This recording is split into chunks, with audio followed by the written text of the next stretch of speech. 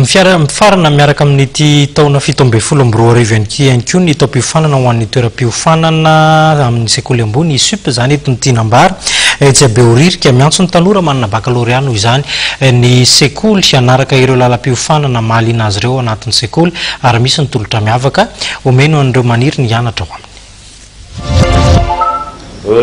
Ny sup Behoririka amin'izao famaranana ny taona izao dia miarahaba an'ireo mpianatra nahavita ny voka-pikarohana teo amin'ny DTS ary koa teo amin'ny licence ho an'ny mention Droit sy ny mention Gestion et Management.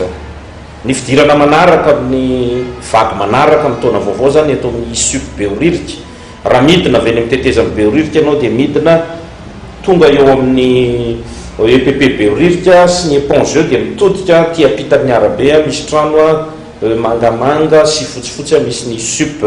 Ny fidirana faharoa, andiany faharoa, vague deux, ho an'ny taona voalohany, spécial commerce international, spécialité transit et douane, Dia amin'ny fahavalon'ny volana janoary, voafetra ny toerana.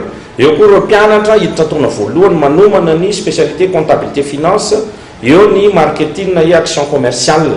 Miaraka miditra amin'ireo koa izany ny miditra taona voalohany eo amin'ny lalàna, mention droit, izay hisafidy ny lalam-piofanana droit public na ny droit privé. Misokatra tanteraka ny fisoratana anarana amin'io fahavalon'ny volana.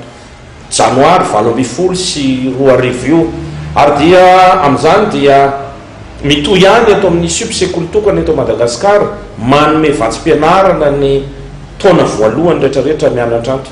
Miavaka ny vokatra azon'ny sekoly satria izay nandalo tato dia efa manana ny toerany amin'ireo orinasa matanjaka, tranom-piantohana, banky, asam-panjakana, fitsarana manerana an'i Madagasikara. Tanjona apetrak'i Sup.